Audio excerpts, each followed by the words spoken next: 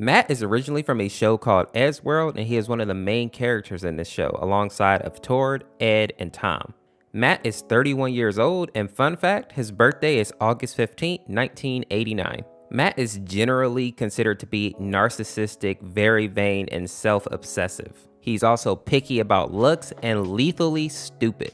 Matt is so conceited that his room is filled with framed pictures of himself. Matt is the only one among the original four cast members to remain in Ed's world.